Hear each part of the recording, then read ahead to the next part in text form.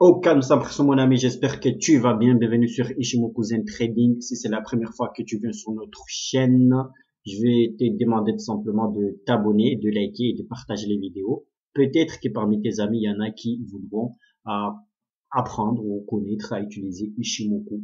Dans la description de cette vidéo, tu trouveras tous nos, nos sources, d'accord?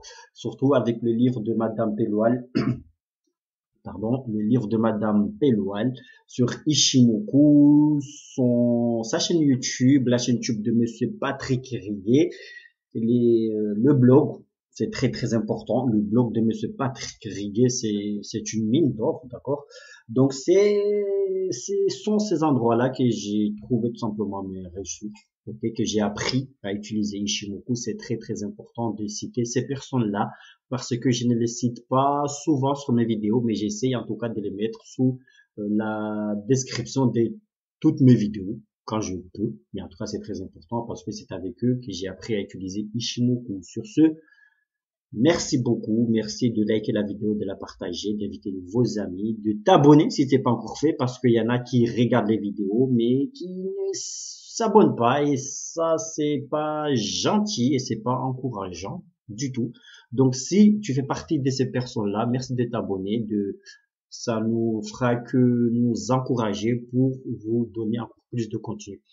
Sur ce, j'avais une question parce que je, je ne sais pas, euh, voilà, moi je connais pas du tout YouTube et mon, mon but ici c'est de montrer comment j'utilise Ishimoku et donc euh, le mieux, c'est de connaître vos envies, tes envies à toi qui suis la chaîne. Merci à tous ceux qui sont là depuis le début. Merci aux nouveaux abonnés. Donc, s'il vous plaît, je vais vous demander ou je vais te demander de me dire sous les commentaires de cette vidéo euh, le jour que tu, vous, que tu voudrais, en fait, le jour que le mieux pour toi de publier les vidéos et le contenu que tu souhaites que je que en fait. Quel genre de vidéo tu souhaites voir Est-ce que ça te plaît comme ça, c'est-à-dire de montrer euh, les trades que j'ai que j'ai pris, comment je suis entré en position, comment je gérais ma position. C'est d'ailleurs le, le principe, c'est d'ailleurs le but de cette vidéo d'aujourd'hui, c'est la gestion de, de des trades que j'ai pris en fait, surtout ce, ce trade ici que je suis entré en position hein, depuis cette zone-là. Attends, on va voir ça.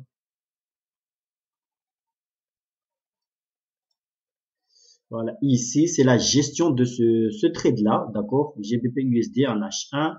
Euh, B, une bonne baisse qui va donner à manger. Donc voilà, patati patata, c'est entre moi et mes amis, mes deux potes qui sont ici. Donc ça, c'est, il faut pas tenir en compte, voilà, comment on parle. Donc c'est simplement la gestion de ce trade, d'accord?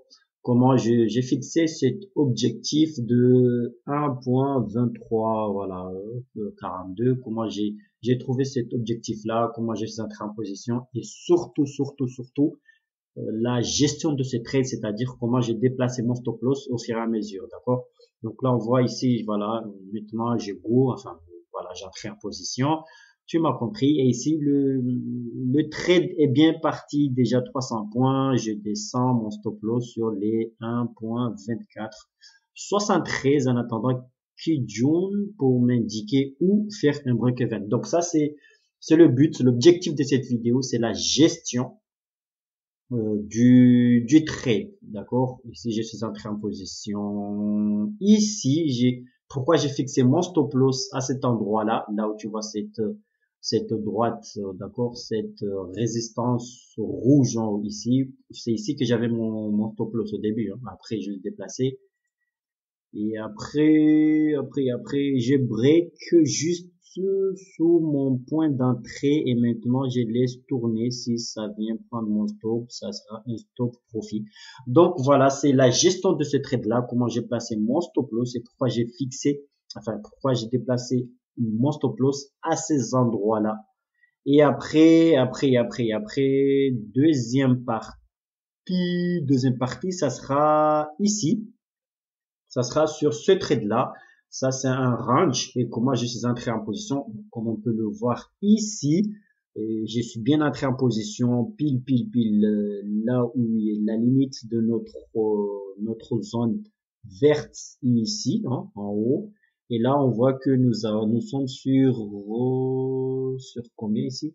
1.2307 et vous voyez où j'ai fixé mon stop loss et on voit pourquoi, enfin on verra pourquoi j'ai mis mon TP en haut ici, hein, ok.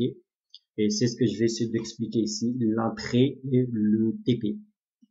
Et dans une troisième partie, et là on voit, voilà, la gestion en cours de ce trade. Là, au calme sans pression, objectif atteint, il est préférable de prendre son profit ou faire comme moi de prendre le voilà tu liras ça si tu en as besoin. Tu mets tu me poses sur la vidéo et tu lis ici mais je vais t'expliquer pourquoi euh, j'ai dit pourquoi j'ai déplacé mon stop loss ici et j'ai laissé tourner. Donc c'est la gestion du trade. C'est le but de cette vidéo. Et ça fait déjà 5 minutes et je compte faire tout ça en 40 minutes. Première partie la gestion de mes trades, ce trade-là. Deuxième partie, ça sera une analyse, enfin, voilà, voilà, une analyse. Dernière partie, ça sera une analyse. Première partie, on a deux gestions de trade à voir. Deuxième, euh, troisième partie, pardon, on fera l'analyse parce que j'ai essayé de regarder un, peu sur les, les des devises là, mais euh, je trouve rien du tout, donc je vais essayer de rester sur GBP USD dans la semaine. Et s'il y a d'autres opportunités, je vais essayer de voir. En tout cas, pour l'instant, pour l'instant, j'ai pas d'idée. Ok, sur quelle paire je vais trader, j'ai pas d'idée parce que le marché c'est du n'importe quoi. Hein, ok, donc ça on le sait tous. Donc je verrai au fur et à mesure dans la semaine est-ce qu'il y a une opportunité ou pas. Sur ce, c'est parti. Donc je vais commencer le trade. Je vais commencer par ici GBP USD en H4. Donc je vais expliquer tout simplement euh, ici, hein, c'est cette bougie hein, ici que je suis entré en position, c'est sur cette baisse là. Donc GBP USD, là nous sommes sur H4 et on voit en fait cette partie là n'existait pas encore, ok? Donc ce qu'on va faire, cette partie là n'existait pas encore, ok?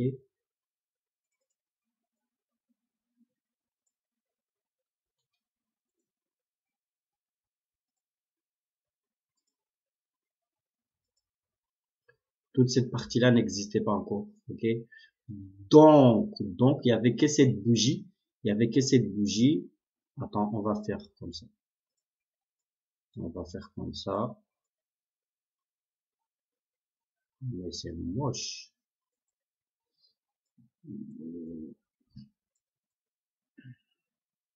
Enfin, tu m'as compris. C'est sur cette bougie, c'est sur cette mouvement-là que j'ai, qu'on va faire nos analyses, ok? Ben voilà, tu m'as compris. Donc maintenant, c'est bon. Cette partie-là n'existait pas encore.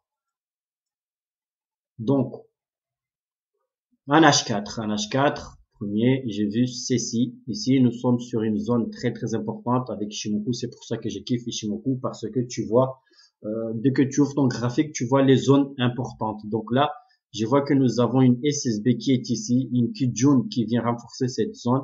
Donc, j'ai placé tout de suite une résistance ou un support ici, comme tu le veux. Hein. Là, là, là, en tout cas, c'était un support ici. Donc là, j'ai vu, il y avait cette bougie qui avait cassé cette, euh, cette zone-là. Et cette, euh, cette petite bougie que tu vois là, ok, était en formation. Et donc, moi, j'attendais en fait la fin de cette bougie, la clôture de cette bougie. Si cette bougie clôturait au-dessus, en fait, ici, hein, ok, ici en haut ici de cette zone, j'allais pas entrer en position. Et si cette bougie clôture en dessous ici, j'allais entrer en position parce que ici déjà on avait déjà cassé cette zone, on avait déjà cassé avec cette bougie et donc j'attendais la clôture de cette bougie pour entrer en position. Ça c'était euh, c'était l'idée euh, OK avec les euh, les bougies ici tout de suite. Et le potentiel de ce trade de ce mouvement m'a été donné par la lagging span, ok, parce que là on voit que la lagging span ici a cassé sa Kijun Sign ici, donc ça validé la baisse qui est ici, et, on voit ici ça, il y avait une vide, il y avait une vide, il y a une grande vide qui est ici, donc il y avait rien qui stoppait la lagging span. Donc ça, ça m'a donné la puissance de ce mouvement-là. Donc j'étais euh, j'étais rassuré en tout cas bon j'étais j'étais sûr de mon trade ok on va dire à 90% même à 99% de, de mon trade mais jamais à 100% d'accord? Et donc là ça m'a donné la force de ce mouvement pour venir chercher les zones qui sont ici ok? Cette Kijun qui est là cette SSB qui est là donc les zones qui sont ici d'accord? Maintenant on va aller voir ça sur du daily. Et en, daily, cette zone m'a été, ma confiance, on va dire, a été renforcée par cette zone que je vois ici encore sur euh, daily. On voit ici, nous avons une grande SSB qui est là. On voit une Kijun qui est là. Donc, ça m'a, ça m'a donné tout simplement mon TP et donc j'ai tout simplement ramené ici mon TP et, et, et avec Fibonacci j'ai pris le Fibonacci et j'ai mis en bas ici et pile pile ça a donné les 50% de Fibonacci. C'est pour ça que tu vois sur cette image que voilà mon TP est fixé sur euh, 5 là tu vois il y a 50 et là c'est les 50% de Fibonacci. J'ai fixé mon TP à cet endroit là. OK? Maintenant quand tu viens en H4, on voit que ce sont nos zones qui sont ici. Donc ça, c'est mon premier TP. Voilà. Maintenant que tu connais ça, je suis allé sur, euh, j'ai faisais ma gestion de, de trade sur du H4, H, H1 euh, pardon, un H1. J'ai suivi mon, j'ai suivi mon trade ici et ça c'était mon écran principal. Il faut savoir que j'ai su euh, je suis un swing trader, d'accord? Moi, je prends de, swing, donc je peux prendre jusqu'à euh, une journée, voire une semaine, ou voilà. En tout cas, je ne fais pas plus qu'une semaine. Je ne tiens pas mes trades plus qu'une semaine. Si je peux, en tout cas. Donc, mon écran principal reste le, le, le H1 ici, et je me positionne sur du M15. Du M15, donc c'est ici c'est pile l'image que tu vois là. Donc, je me suis positionné pile ici, à cet endroit-là, et j'ai mangé tout ça. Sauf que ma position, mon entrée de position, j'ai optimisé encore plus et je suis descendu sur du M5. Donc, sur du M5,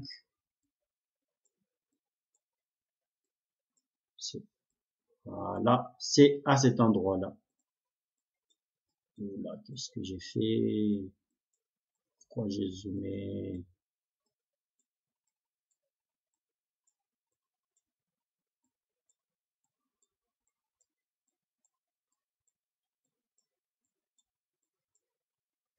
Voilà.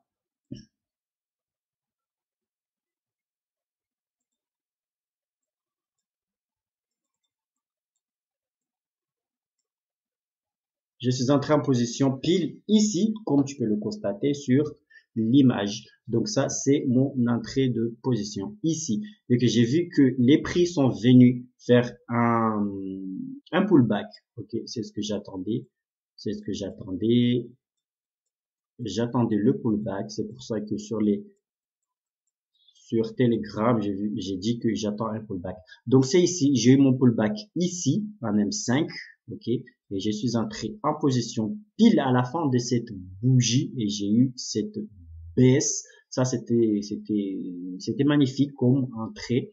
Donc, je suis entré en position ici et j'ai mangé à peu près tout ça. J'ai mangé 800 points ici. Donc, je suis entré depuis ici et on m'a sorti ici à peu près à cet endroit-là. Ok, parce que j'ai pris ça. J'ai pris, j'ai pris cette, euh, cette hausse qui est là. J'ai pris ici et sorti de position. Mais sauf que,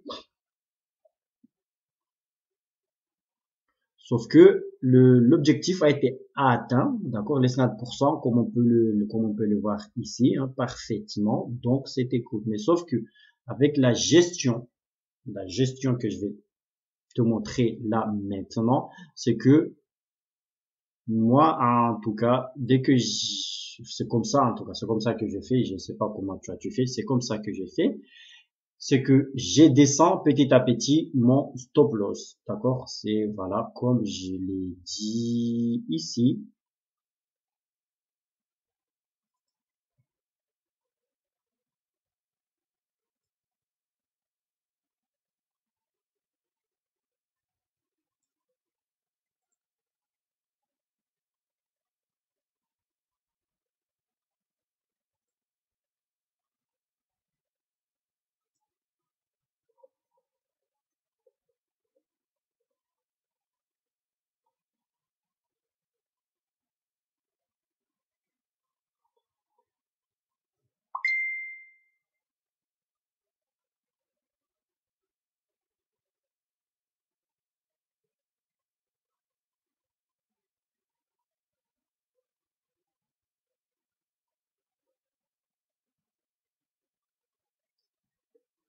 Comme on peut le voir ici, je descends petit à petit mon, mon, stop loss et donc je fais un break-even. Donc maintenant, on va voir où j'ai mis le stop loss et comment j'ai euh, comment j'ai déplacé mon stop loss petit à petit.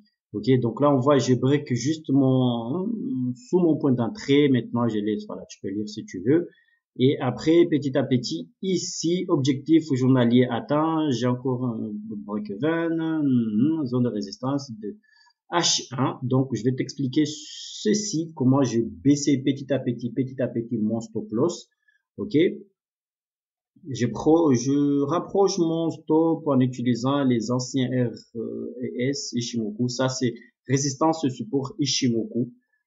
Hum, et ici, 500 points de manger. Mon stop est maintenant sur, sur les, voilà, près de SSBH1, ça serait plus sécurisant de les placer sur les qui, qui H1. Donc voilà, comme tu peux le voir ici, je descends petit à petit mon stop loss, mais en utilisant, bien entendu, bien sûr, en utilisant euh, les supports euh, donnés par Kijun et SSB, tout simplement, donc en utilisant Ishimoku.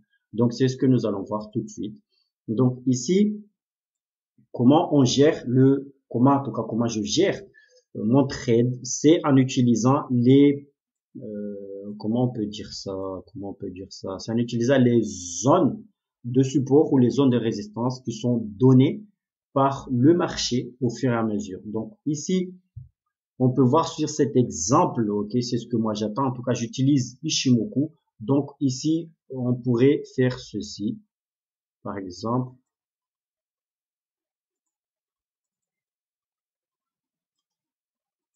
propriété rouge. Là, il n'y aura pas exactement les, les endroits comme je t'ai montré sur Telegram où j'ai placé mon stop loss. ok, parce qu'on va, on va aller vite. Mais, mais il faut savoir que c'est comme ça que je, c'est comme ça que j'ai fait. C'est-à-dire, j'attends d'avoir quelques, quelques, quelques zones où je peux, je peux protéger en quelque sorte mon stop loss. Parce que le stop loss, il faut le placer dans des endroits euh, stratégique. Ok, il faut il faut le protéger au maximum. Ici, quand je suis entré en position, mon stop loss était ici à peu près. Comme on peut voir sur l'image, ok, à peu près, hein, c'était ici. Donc moi, je suis entré en position ici. Ça, c'est mon entrée de position. Mon stop loss était ici. Et mon objectif était ici sur les 50% de Fibonacci. Et on peut voir ici que niveau risque gain. Niveau risque gain, on est bon. OK.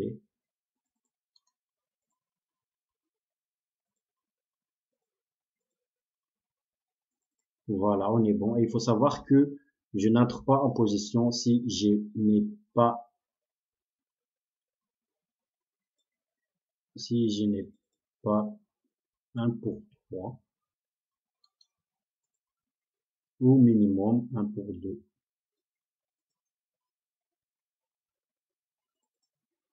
Voilà, c'est ce que et si tu veux non, c'est pas ça.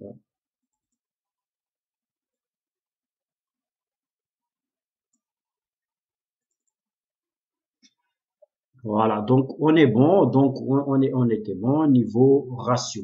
Donc je suis en position ici, Et ici, j'ai mis mon stop loss et comme tu peux le constater, je n'ai pas mis mon stop loss n'importe où. On voit que là, nous sommes sur des, les derniers plus hauts ici et en plus, nous avons une Kijun qui est ici et nous avons une SSB qui est ici. Donc, ça m'a tout simplement dit que là, nous sommes sur une zone forte. Donc, je peux, mon, je peux placer mon stop loss ici et mon stop loss sera bien protégé ici. Et donc, dès qu'il y a eu un rejet de prix ici à ce moment-là, ici, hein, sur cette Kijun.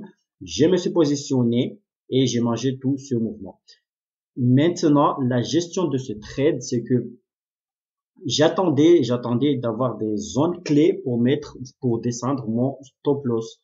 Et je ne descendais pas n'importe où. Donc là, le mouvement était bien parti. Dès que c'est bien parti ici, j'ai ramené mon stop loss en bas, ici à peu près. Et une fois encore, on voit que j'ai utilisé ces zones-là. Cette Kijun qui est là, ok.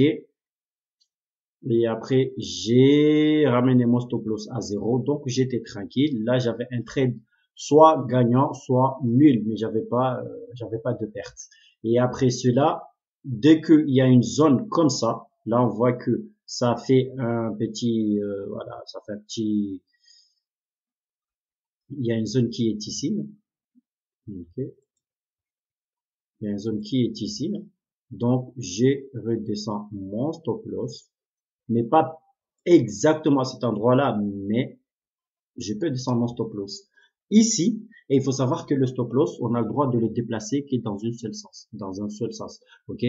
On déplace le stop loss que dans un seul sens. Il faut déplacer le stop loss vers le TP, mais il faut jamais, jamais déplacer le stop loss euh, inverse. Comment, comment je peux dire ça? Il faut jamais déplacer le stop loss euh, en l'éloignant.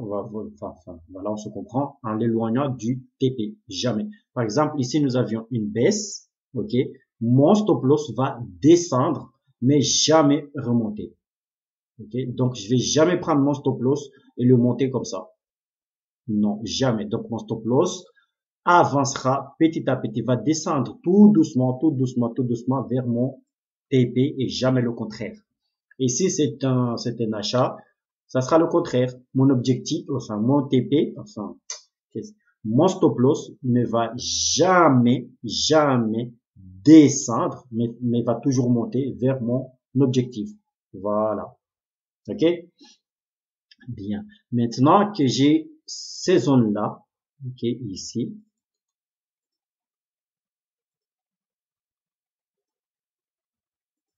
Maintenant que j'ai ces zones qui sont ici, voilà, ces zones m'ont été données par les prix. Il faut savoir que ces zones-là n'existaient pas encore. Donc, ils m'ont été données par les prix. Ok.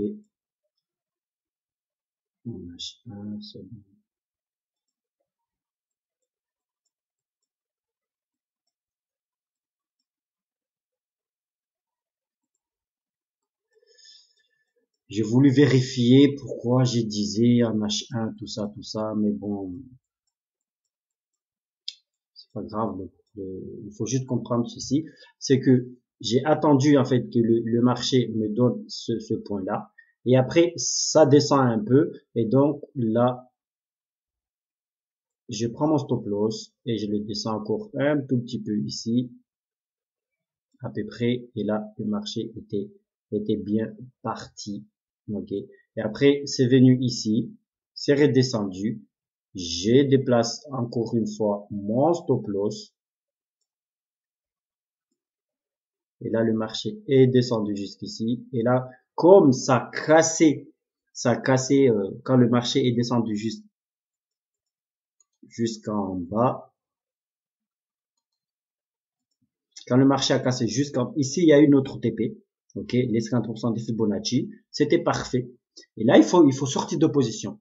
Mais, mais, ce que j'ai fait, moi, c'est ce que j'ai fait, c'est que je décide de sacrifier quelques points et voir si on peut aller plus loin. C'est pour ça que, euh, quand je prends un trade intra, hein, ok, intraday, c'est que des fois, ça peut se retourner en swing. En sachant que euh, je suis de nature calme, ok, tranquille. Donc, je n'ai pas peur de prendre de, swing en fait. Donc, je peux entrer sur de l'intraday et finir en swing. En tout cas, jamais du scalping. Ça, c'est trop rapide pour moi. Donc, je reste sur intraday et j'ai et swing, ok? Donc c'est comme ça que je, c'est comme ça que je gère mes positions. Donc après ici il y a eu cette cassure des 50%. Après il y a eu un petit pullback ici. J'ai tout simplement rapproché mon stop loss, mais par contre ici c'était très très très serré. Ok?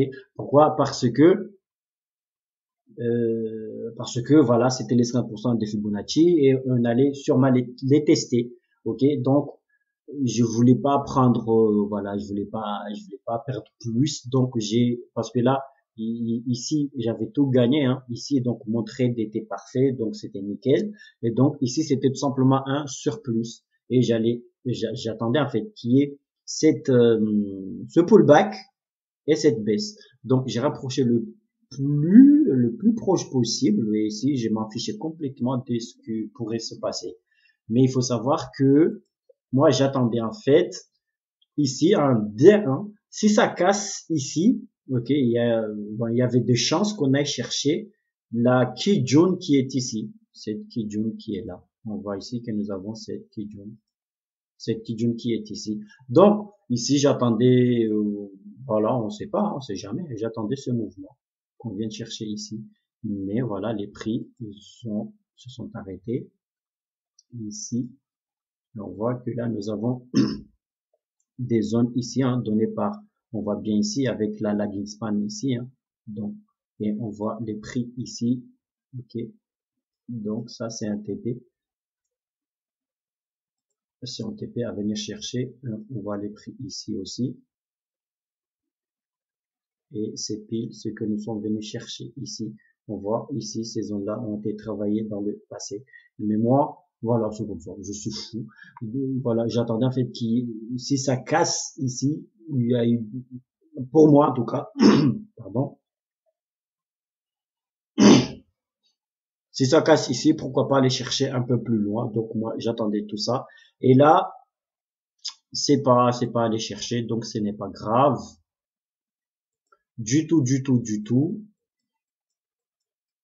Et donc, j'ai pris, j'ai pris, j'ai pris un stop profit, un, un break-even. Donc, c'était cool, nickel. C'est remonté ici. Voilà, ça a coupé. Tout le monde était content. Et je suis parti. Voilà, et j'ai surveillé tout simplement depuis mardi jusqu'à vendredi. Et on a eu ceci. Maintenant, nous allons entrer dans la deuxième partie de, cette vidéo qui est tout simplement, tout simplement le range qui est ici. Voilà, on va zoomer un peu. Maintenant, on va voir la deuxième partie, à savoir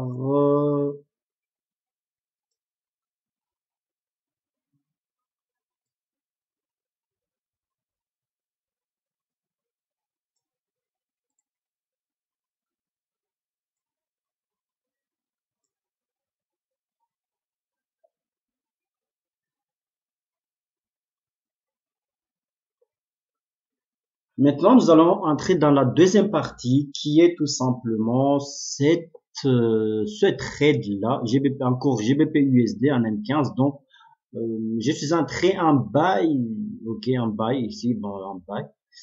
Euh, j'ai voulu dire un buy, mais j'ai oublié le U ici, c'est pas grave. Stop sur les 1.22 974 TP, les 1 pour 1, 23, 680. Je suis entré par anticipation, mais attendez la fin de la bougie M15, cas sur de la Tenken scène pour entrer en position. Tout simplement, ici, hmm, ok, ça c'est un M15. ok, on va voir tout simplement ce trade. La gestion de ce trade aussi. Pourquoi j'ai fixé mon TP ici, ok, et on verra peut-être, je ne suis pas sûr parce que là c'est déjà, voilà, le temps est coulé. Hein. On verra comment il faut tracer ces zones-là. Ok, les zones, les bornes plus haut ici et les bornes bas ici. Enfin, on verra. Donc voilà, c'est parti. Donc, quand j'ai fini de manger sur cette baisse ici, que j'ai attendu et après il y a eu un petit range, un M15 qui s'est effectué ici. Hein. Donc ça, on va enlever ça. Voilà. On voit ici, nous avons nos 50% de Fibonacci. Et ici, nous avons des zones en haut ici. Il faut tout simplement, je vais enlever, je vais enlever ça. Ok, j'enlève ça.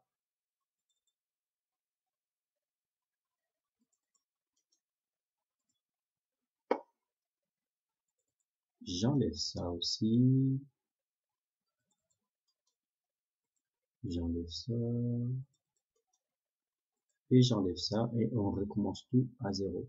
Donc pour tracer les, bornes, les bornes, ok, les bornes voilà, de notre range, le spécialiste de ça, c'est Monsieur Patrick encore une fois. Allez voir sous la, la, le spécialiste de, de, range avec Ishimoku, c'est Monsieur Patrick Riguet. Allez voir sur sa chaîne YouTube. J'ai mis le lien en bas. Il suffit de voir, euh, voilà, Monsieur Patrick Riguet, YouTube, et tu vas, tu y vas. Sinon, tu vas dans sur son blog et là-bas, tu verras tout, tout, tout, tout, tout, tout. Ok? Donc là, lui en fait, il fait, il fait ça. Il trace un rectangle comme ça. Voilà. Mais il n'y a que lui qui connaît le secret. Voilà. Et il trace entre les rectangles ici. Ok. Mais moi, j'ai fait ceci. Je fais comme ça. Moi, j'aime faire comme ça. C'est-à-dire, je vais voir. Ici, il faut chercher le premier, euh, le premier touch. Ok. Ça touche ici. 1, 2. Il faut juste, il faut juste 4 points. 2 en haut et 2 en bas et tu traces. Donc là, il y a eu, ben, il y a eu plusieurs fois ici, hein. donc je vais tracer, moi je trace, je fais comme ça, je vais tracer les corps des bougies et je vais tracer les mèches des bougies, les, les premiers, hein, sur les deux premiers. Hein. Et après, je vais chercher encore une fois en bas ici le premier, les corps des bougies et ici les mèches des bougies sur les deux premiers. Ici, c'est pas, c'est pas trop cool cool, ok? Mais c'est comme ça. Les deux premiers en haut, les deux premiers en bas. Et là, j'ai une zone.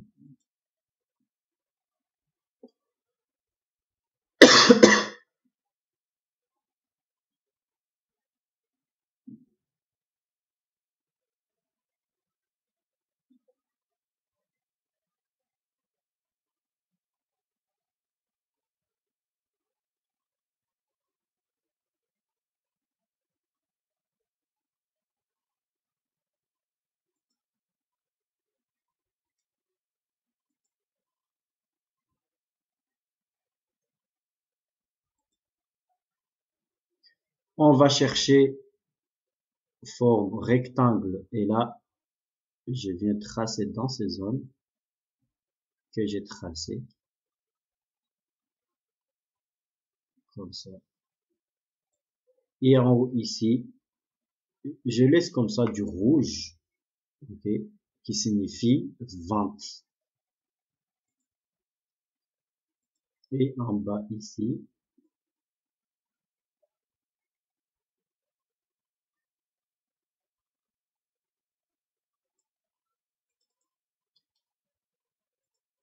on va mettre ça en vert. Et dans ma tête, c'est des achats. Ok. Donc voilà, c'est fini, tout simplement. Et donc voilà, après les prix, euh, voilà, évoluent, évoluent, évoluent, évoluent. Et moi, j'attendais tout simplement cette hausse ici pour être en position. Et là, il y a eu ce mouvement-là moi, j'ai pris tout ça. J'ai pris tout ça. Et j'ai pris 500 points ici. Et je suis entré en position pile, pile, pile, pile à cet endroit. À peu près ici. Ok. J'ai fixé mon stop loss en bas ici. Mon stop loss en bas ici. Tu vois, sous les mèches ici. Mhm. Mettre du rouge. En bas ici. et j'ai mangé. Et j'ai mangé tout ça jusqu'au TP jusqu'en haut ici. Et je suis parti et je suis sorti de position. Et ça je m'en fous. Je laisse. Et on verra ça. On verra ça après. Dans la semaine donc voilà c'est comme ça que je trace mes zones de support mes zones de résistance en général et c'est comme ça que je trace mes mes ranges d'accord? Et au milieu ici nous avons tout simplement le milieu du, du range tout simplement. Ok? Ici. Et là c'est notre premier TP il faut venir chercher le premier TP ici et deuxième TP en haut. Ok? C'est pour ça que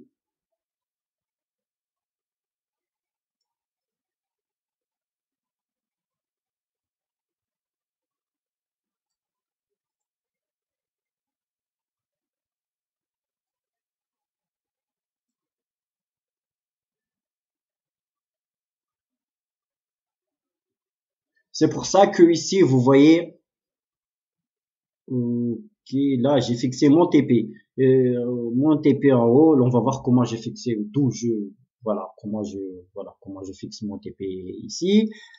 Et là,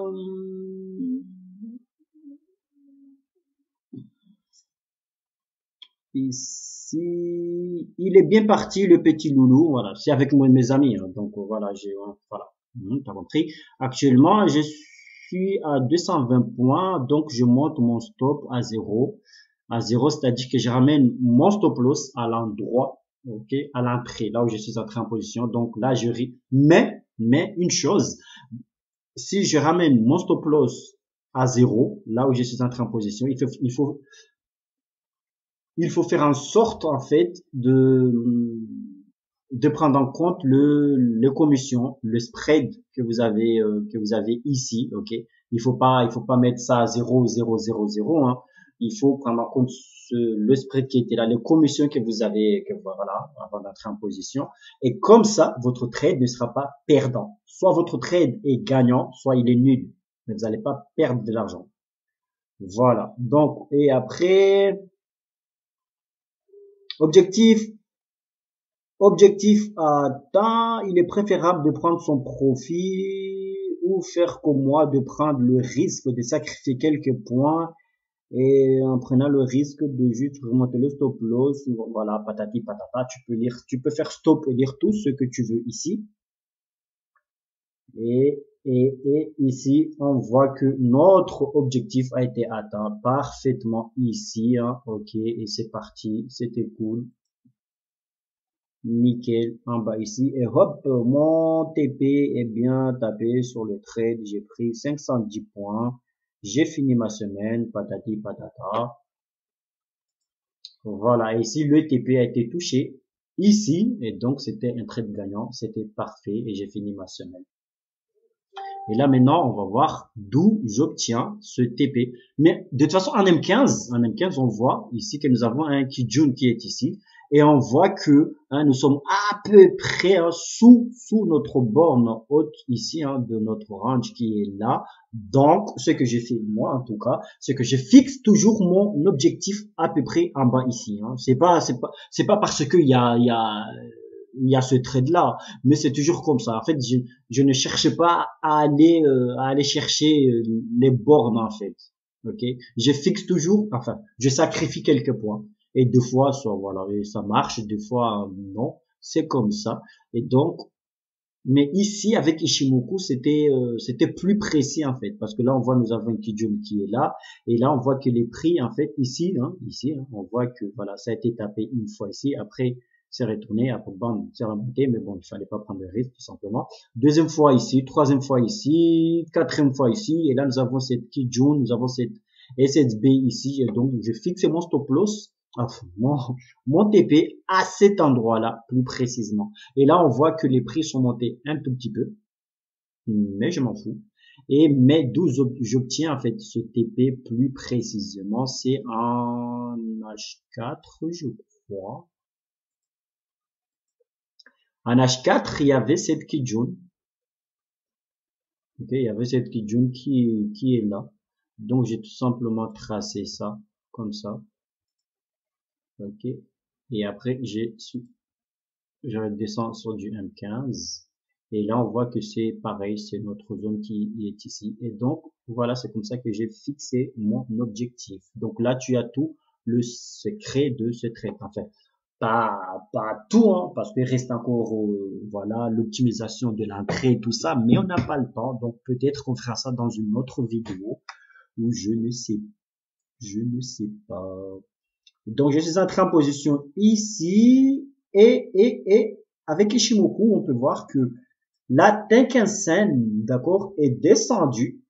Ok, on voit ici que, attends un peu ici, voilà, on voit notre Tenkan-sen qui n'est même pas descendu jusqu'à notre borne en bas ici pour venir soutenir cette chute qui est là. Donc ça, c'est parmi les, secrets de Ishimoku que j'ai que j'aime beaucoup, c'est que euh, la doit toujours suivre les prix. Si la Tenkan-sen ne suit pas les prix, il faut se méfier.